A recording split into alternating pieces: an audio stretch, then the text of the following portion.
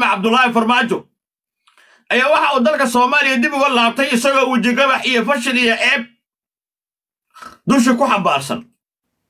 Waxaana markii ugu horraysa madaxweynihii xarakada badnaa ee libisnaa la soo duuba soo bidaartayda camal leh oo halkaas wada duleesho oo tantii waagii uu madaxweynaha ahaa uu beertay ay ka fufuqday oy ka daadatay.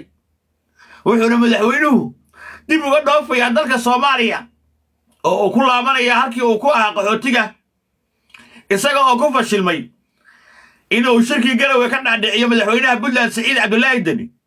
Inuu saxiixo war saxaafadeedka ay sida wajirka u soo saarayeen isaga iyo shariif sheekh axmed. Madaxweynaha puntland ayaa diiday in magaciisa halkaa lagu qoro. Sidoo kale wuxuu sheegay inuusan haba yaraatee wax saxiixa ku lahaan karin. Wuxuu kale oo farmaajo halkii uu qaxootiga ku ahaa dib ugu laabanayaa isagoo laga hor istaagay inuu mataqaanaa booqdo?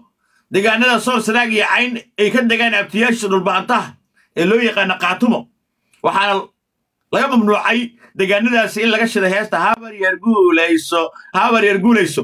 Waxay u muuqdaan dhulbaantuhu inay siyaasaddii fahmeen barteen waxayna ku doodeen inay ka tirsan yihiin dowladda federaalka soomaaliya. Sidaa daraaddeedna aysan aqbali karin in wax loo yeeriyo dambe iyo in la farageliyo iyo in qaatumo dhexdeeda laga furo dagaalka dhana dowladda xasan farmaajo arrimaha kale oo ku fashilma waxaa ka mid a isaga oo muqdisho ku qabtay hadiimo afur ah hase yeeshee hawiyihii caasimad deganaa bulshadii rayidka ahayd siyaasiyiintii xildhibaanadii iyo odayaashii dhaqankaba waa ay diideen.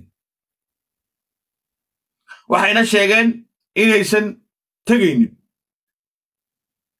laba habeen oo afur sameeyey markii la tigi waayo. Ayaa waxaa sidoo kale loo sheegay in darawalkiisi gaarka ahaa iyo toddoba toban ka mida ilaaladiisuba la waayey. Waxaana marka dambe la soo wariyey darawalkiisi gaarka ahaa sahal maxamuud xirsi inuu iska dhiibay al-shabaab oo ku biiray isagoo baabuurkii beled buruufku ahaa ee farmaajona gatay.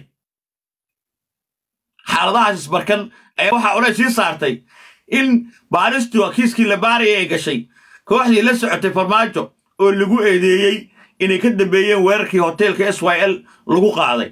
Kooxdaasi oo qaarkood xildhibaanaha qaarna xildhibaanaan ahayn ayaa u baxsaday magaalada nairobi ee dalka kenya.